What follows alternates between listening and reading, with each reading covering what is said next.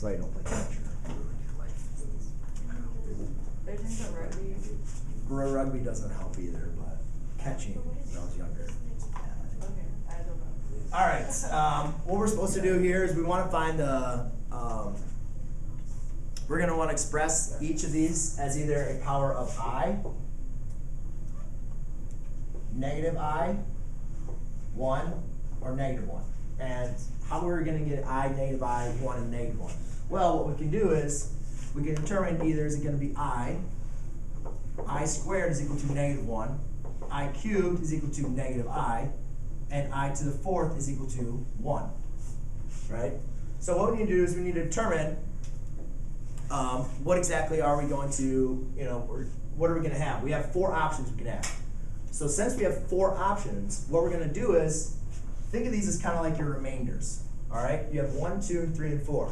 So what I'm going to do is I have four options. I'm going to divide them into this exponent and or yeah, into the exponent, and no matter what my remainder is, is going to tell me what power I'm going to put it to. So I look at 40. So I have four options. How many times does 4 go into 40? 10. Is there a remainder? No. So therefore, remainder is going to be 0, or what we call 4. So therefore, this can be rewritten as 1. Okay? i to the 40 is exactly similar to 1. Or i to the fourth. It's the same thing as i to the fourth, which would equal i to the first power. If I looked at i to the 25th, how many times does 4, four options, how many times does that go into 25? Six times, right? But it just keeps on repeating that six times. Then after that six times, what, what is my remainder? One. 1.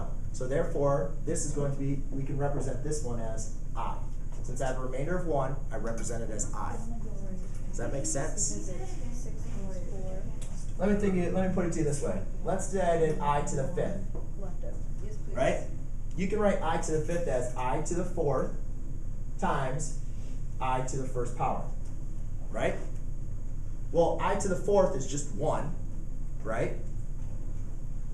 And then you're just left with i to the first power. So you just take what the remainder is. Ah! And that's gonna tell you- Bless you. You're just gonna take what the remainder is, and that's gonna tell you what you can rewrite that power as. Yes. So after you get from like I four to like I five, does the cycle just basically like repeat itself? Like, Yeah, I mean, this is just like canceling out. Like, let's look at i to the yeah. ninth. Again, you can rewrite that as i to the fourth times i to the fourth. Remember, you add exponents, right? 4 plus 4 is 8, plus 1 is 9. Well, what these both equal? i to the fourth equals what? One. So it'd be 1 times 1 times i. So that's why I can rewrite i to the ninth as just i. So basically, you divide it by four, and whatever the remainder is, is To make What? it in simplistic terms, yes. You always divide by 4 Yes, because there's only four options. Because once you get up to 4, it resets, right? Oh. So that's why you want to or you could spend your time counting. Um, I was Right. Want to do that. It's a lot easier. It's a lot It's easier a lot to divide easier by 4 and find the forty. remainder. So i to the fiftieth, we look at this, and we say how many times does four go into there? Well, twelve is going to give us forty-eight, so my remainder would be two. So I have a remainder of two, this can be rewritten as negative one. Yeah. Sixty-seven. I have my rema- I goes into there, well, four goes into 40 10 times, and then what, twenty-four would be the next time, so then ten plus sixteen? 16. So what's the remainder of 4 times 16? I don't know. 64. Off me. So it'd be a remainder of 3, so it'd be negative i. I still don't get that. You can calculate That one's But- Yeah, you're confusing me. How many times does 4 go into 67? Let me see what my calculator. Watch. Seventy-five. Wait, Four no, goes that's into just six. so confusing, Mr. McLogan. Just watch. 4 goes into 6 how many times? Sixteen point seven. 1. 1 times 4 is 4.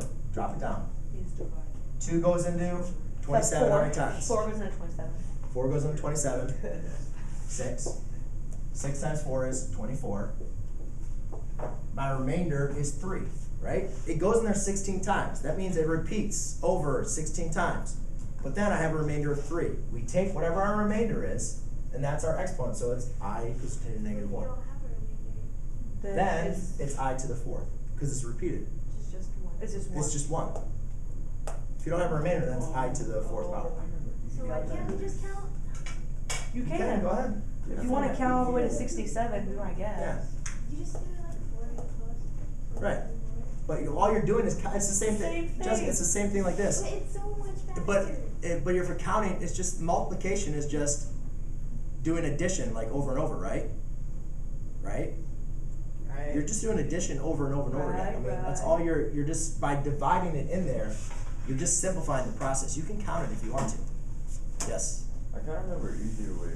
Okay. Like, all you do is take the number divided by four, the calculator, and whatever the number gives you, like if it's 0.25, then it's I to the first, if it's 0.50, it's I to the second. if it's How point- is that easy? It's easier cause like, think about a quarter, Like, like yeah, one quarter yeah. is I, two quarters is I with negative one, and then That point works. seventy five is not easier, it's the whole number, then it's four. That's a lot of times if you have a calculator, that would be a very good way to look at it as well. Very good. That makes sense. So basically, you just